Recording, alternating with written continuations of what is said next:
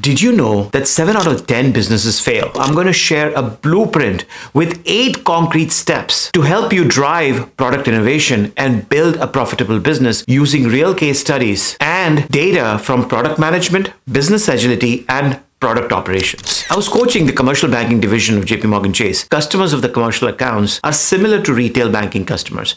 Just like you have checking, savings, credit, and mortgage accounts with the bank, large corporations like McDonald's, Microsoft, and others have commercial accounts with large banks. One of the service line was to offer commercial loans. So when a customer like McDonald's would like to open new franchises, they would request a loan from the bank. From the time they apply for the loan until they get it, it would take a long time and there were no clear notifications of where the loan is at any time or what documents are required at different points in the loan process. As their product coach, I decided to use design thinking. Invited key subject matter experts, bankers, operations, technology staff, and other relevant members. We locked ourselves into a conference room for the next five weeks. The first week, we drew on flip charts the current state of the customer journey from the time a loan is applied to when the customer gets the loan. At the end of the week, we engaged a friendly customer and got their feedback. The next four weeks, we spent drawing out the future steps. We got feedback from the same customer and refined our process. We had come up with several improvements,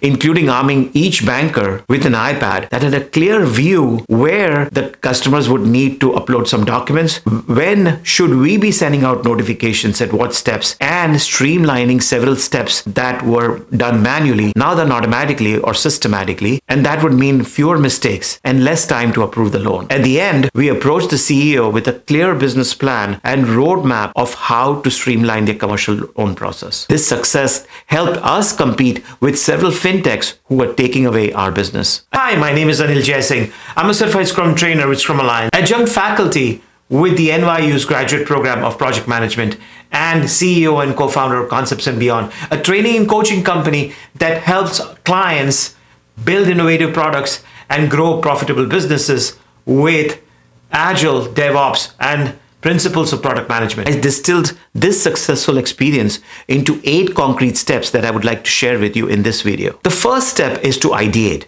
Uber's founders, Travis Kalanick and Garrett Camp, on a snowy evening in Paris were struggling to find a taxi. A thought struck them. What if they could get a taxi on the touch of a button? They dove deeper into potential customer problems. Finding a taxi during peak hours, bad weather, or in less busy areas was often difficult. Hailing a taxi on the street or booking one via phone was not always convenient. Dealing with cash or credit card payments in a taxi was often cumbersome. And customers couldn't estimate the fare before the ride is over, leading to potential surprises. This is how Uber was born. So how do you ideate? Get your team together, brainstorm on problems they have experienced, give everybody monopoly money to vote for the problems they will pay the most for. This is where your ideation journey begins. Second one is to do product discovery. McDonald's was struggling to boost their milkshake sales against Burger King milkshake. Despite extensive customer feedback and improvements, instead of asking how to improve the milkshake, they took a different approach. They approached customers and discovered that many bought milkshakes as a breakfast item during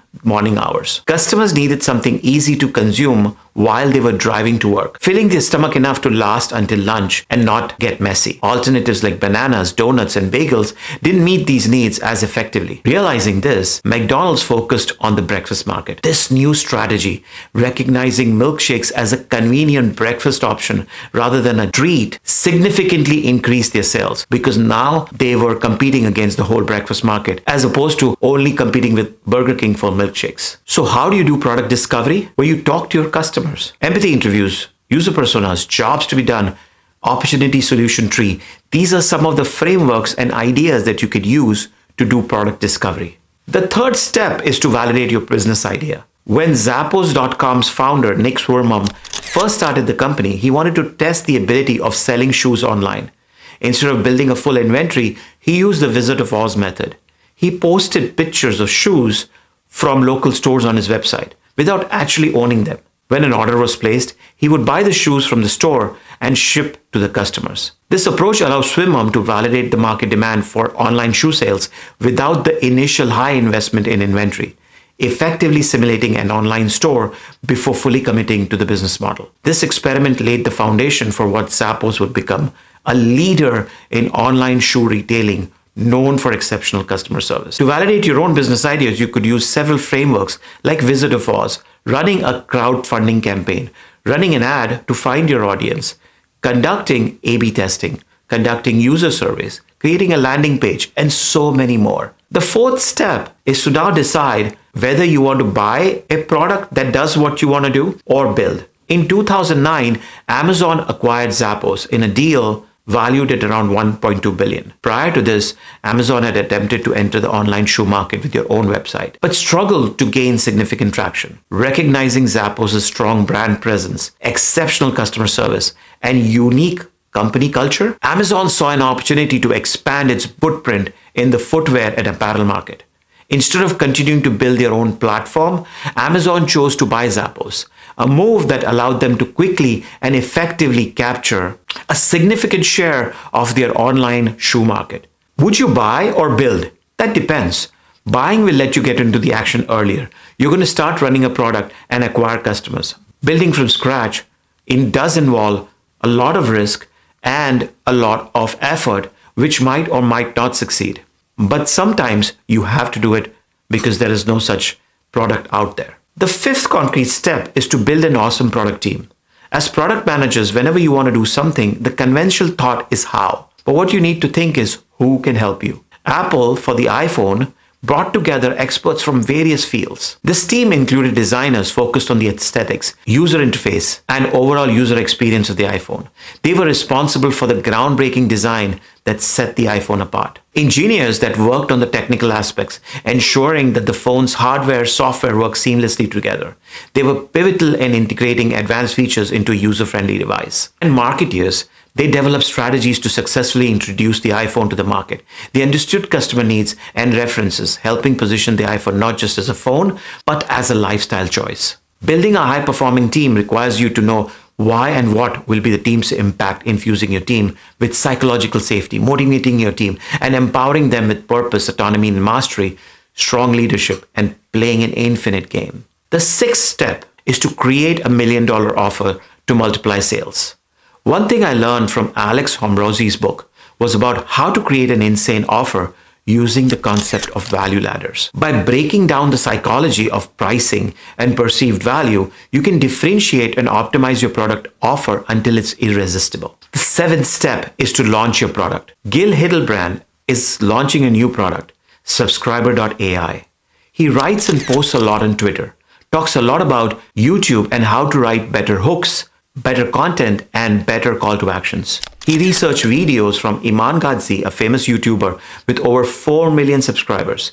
He created a Notion page with all the titles and hooks that Iman uses that gets him the views and subscribers. He began to tweet about it and had a call to action to download his Notion page. He asked me on Twitter to sign up for his newsletter. I do. And then he informs me that he has a version of the product launched early which is an AI tool that breaks down any YouTube video into hooks, main content, and call to action. That's the second value ladder. Now, his main tool is launching at the end of February. He then keeps you hooked with emails talking about the upcoming features and asking you to sign up for a waitlist for his main product. So, how do you launch a product? You launch using three methods. Connect your leads with the problem they're having to build a list, keeping them hooked and interested in the overall value by adding iterative value. And finally, launching with the product list that you are spending the money to build the product that your audience really wants. And finally, number eight is to scale your business with product operations. Okay, so you launch your product and it started generating revenue and customers. Now you launch another one to continue the momentum. And then the third one. Now you're building a portfolio of product. That means increase hiring and different departments for each product, along with different ways of doing the same thing. Each department is focused on their own product lines and does not find it important to share information. Does that sound familiar? Although Agile broke down multiple silos, there is still a gap between sales and marketing teams and product development. Product operations arose from this need to bridge this gap.